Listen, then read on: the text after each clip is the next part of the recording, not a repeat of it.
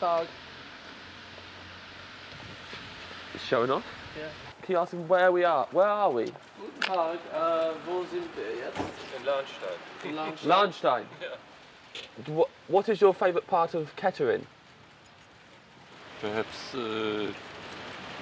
the restaurant Bock. Bock. Kettering Bock. Bock. Ah. Ah. Danke. Some sort of Kettering demon.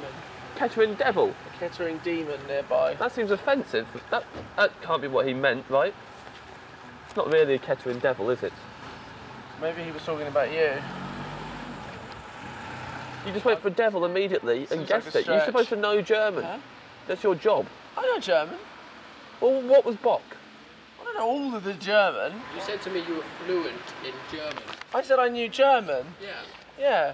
I didn't say I knew every German word. This suggests to me you're not fluent in English if you're telling me you're fluent in German. But I don't think I know every English word either, do you?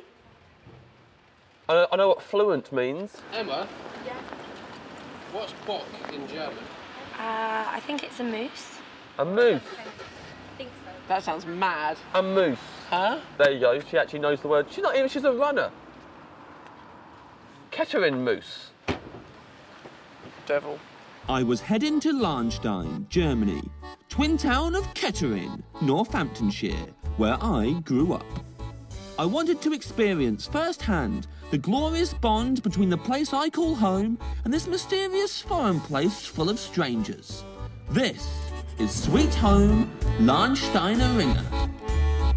In 1700, a wall was built around Lahnstein and a family actually lived inside part of that wall.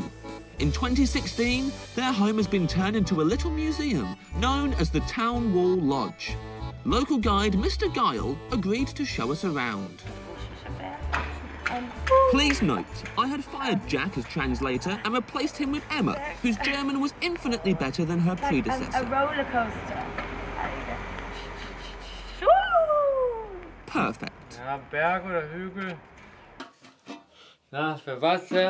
Kettle for water. As soon as we set foot in the Town Wall Lodge, I knew it was going to be full of surprises. Do, Yes, what have you said? do places still make potato cake in Lahnstein? Could I buy some potato cake? Only November. Was lest diese Mutter? What is this mother reading?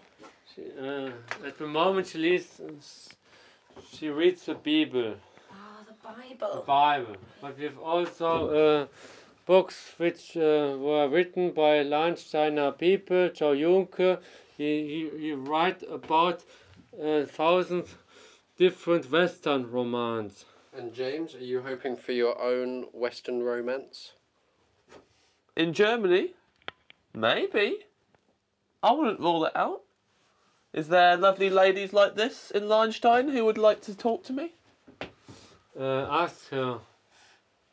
She's got four kids. Hallo. James, sit down. So go on, James. Start the date. It's a mother of four reading the Bible. Just your type. Where did you get that headscarf? Stuff like that? I like your shawl. It feels weird when her baby's in her lap, talking to her. Homewrecker. Um, Can James kiss her? yes, please. Kiss her. I won't kiss her. We go upstairs to the bedroom. Kiss her hand. I'm Yeah, not kissing it's- anything here. Okay. They all look strange. Just a little kiss, a little peck on the cheek.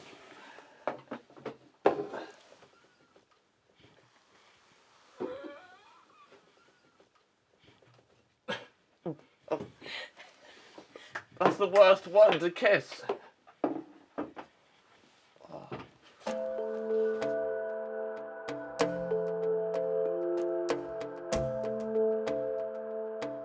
Now that love was in the air, we decided to visit the Witch's Tower. Originally built to imprison the witches of the town, these days the tower is used for civil ceremonies, and many have tied the knot there.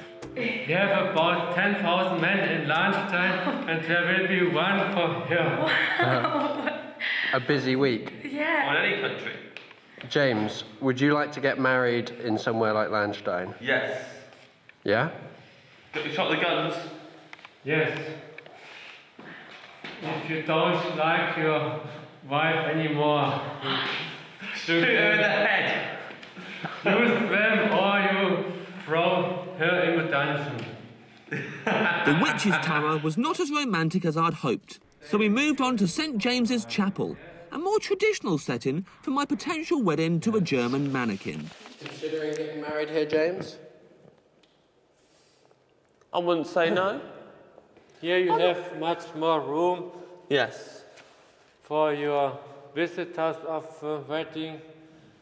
Yeah, loads more Here visitors. about 100 people can uh, look here for your wedding. The choir can uh, sing from from I mean, the only person Right. sitting there now is the one person I wouldn't invite.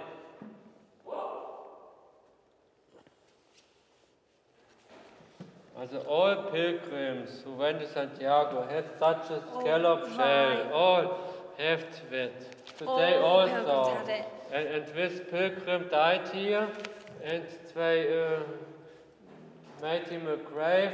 Look who slithered down from the balcony. What do you think your job is in this crew at the moment? Fixer. Not the fixer. You were meant to be the translator and you messed it up. So now you're a runner. I wanted to go home, and you said I had to stay. Yeah, well, yeah. Yeah, you had to stay. Because we can't, we're not going to pay for you another trip home. You're going to go on the trip home that you, you are booked on, which is the same as the rest of us. You're not going to go home early. And you're not a fixer now. Yeah, I'd you were love meant to get some ice cream. Well, you were meant to do it. I- I'd love that. Like, it, like I thought you it's said your who wants job. ice cream, and I was like, yes, please. Yeah, but you're the one who's meant to go and get them, Jack. So you want me to fix the ice creams?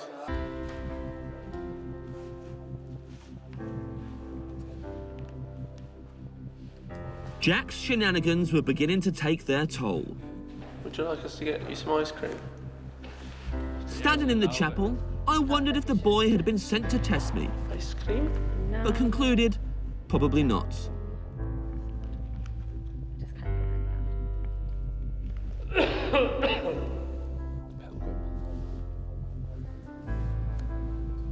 Either way, we did not get any ice cream that day. Yes, please. Kiss her. Got my binoculars ready to go. Anyone else keep getting a text from iTunes asking them to send them all their details? Yeah, yeah, yeah.